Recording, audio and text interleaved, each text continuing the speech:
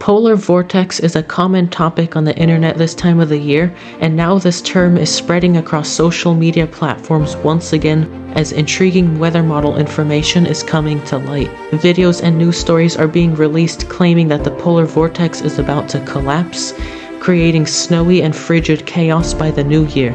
Is this really true though? Is all the attention on a supposed polar vortex worth paying attention to, or is it all just a bunch of senseless hype? Well, that's exactly what I wanted to talk about in this video, and instead of showing you a bunch of weather models and all the what ifs, I'm going to explain exactly what the polar vortex is and what it isn't. Then I'll explain if we really have to be concerned about a polar vortex breakdown by the end of the year. First off, we need to understand what the polar vortex really is. There is actually two polar vortexes. One is in the troposphere and the other one is in the stratosphere. For the sake of this video, I wanted to focus on the stratospheric polar vortex.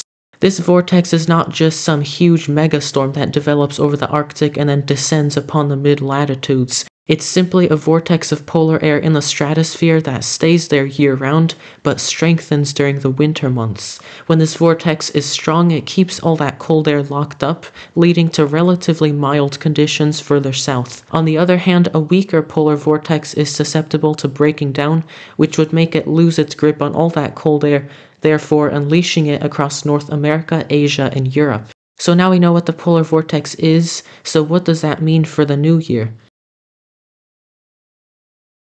This is the 10 millibar temperature anomaly today, December 25th. What you're seeing here is a strong polar vortex. But the interesting part is what happens as we get closer to 2024. Watch as this region of warmer temperatures starts to slowly but surely surround the polar vortex over the next several days. By the time we reach the last few days of December, we see this area really getting warmer and instead of continuing to slowly take over, it really just suddenly gets stronger, therefore completely disrupting the vortex by the beginning of January. And within days, the vortex splits into two pieces, one over Europe and the other over North America.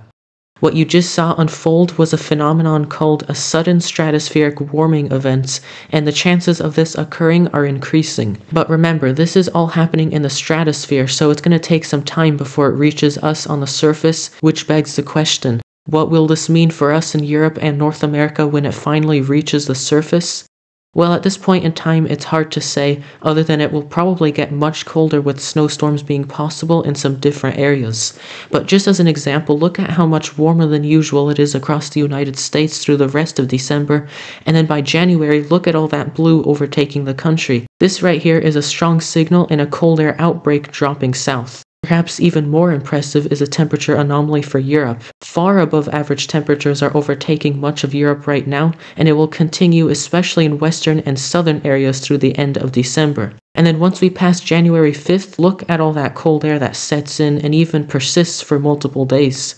While these model runs are intriguing and perhaps exciting for winter weather lovers, it's important not to latch onto what one model says, especially this far in advance. In conclusion of this video, my advice is to stay tuned to the latest weather updates as the situation unfolds. One way you can do so is by subscribing to my YouTube channel so you receive all of the latest weather forecasts and updates as they are released. And when we do know more about this potential polar vortex destabilization, you can be sure I'll be posting videos and additional updates on the channel. With that said, thanks for watching and I'll see you on the next video.